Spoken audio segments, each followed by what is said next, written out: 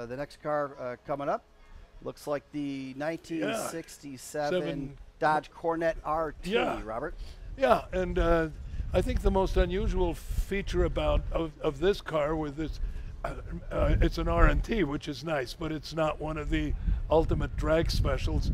Uh, the the nice thing about this car, the, the unusual thing, is it's it's in, painted in something called turbine bronze, and that was a color originally reserved for the limited volume of jet engine powered cars that Chrysler built, the Chrysler Turbine. And everybody said, oh, wow, this is the next thing, you know, cars are going to be jet powered like airplanes. Well, that didn't happen. And apparently, this is one of two uh, non-turbine cars that were painted in turbine bronze. So it's it's rare and valuable just from a, a color and trim standpoint. Well, it certainly looks like uh, the, the color, at least, like something that you'd find on the uh, uh, periodic uh, chart of the elements. Uh, let's get a closer look uh, and talk to uh, the owner, Don Plester of the 67 Dodge Coronet, who is with uh, Eric Gorgeous. Uh, Eric, over to you. How you doing, man? Good. How are you? I'm well. Thanks for coming out. Hey. Thank you for coming out. Thanks for having us. So what do you got here?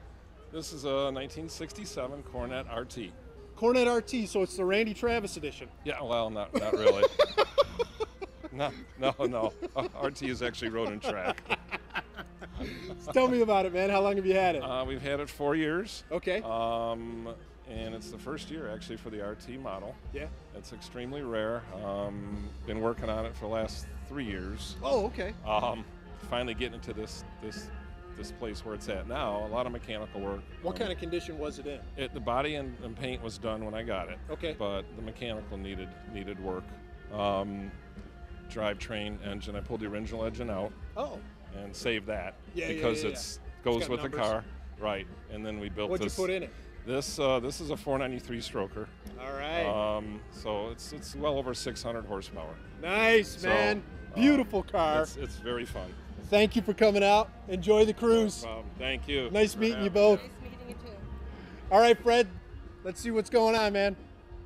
All right, there it is, Bob, the 67 Dodge uh, Coronet uh, Yeah. RT. And I know uh, you, you focus a lot of times on the wheels. Well, um, uh, you know, I have a phobia about old cars with modern wheels. Um, but this car has period steel road wheels as supplied by Dodge. And there's nothing wrong with them. You know, they're five spoke wheels, they have a, a lot of definition. I think it's still a really cool looking wheel. Why go modern when you can have something that actually was uh, available at the time of the car? Another unusual design feature of this car, and you'll notice it as it drives away, but it's got concealed tail lights. When they're off, They're- all you see is chrome strips. So uh, it's interesting that nowadays we try to emphasize the importance of taillights and make a big deal out of them. Right. Well, with that coronet, they actually hid it to where when the lights weren't on, you couldn't see them.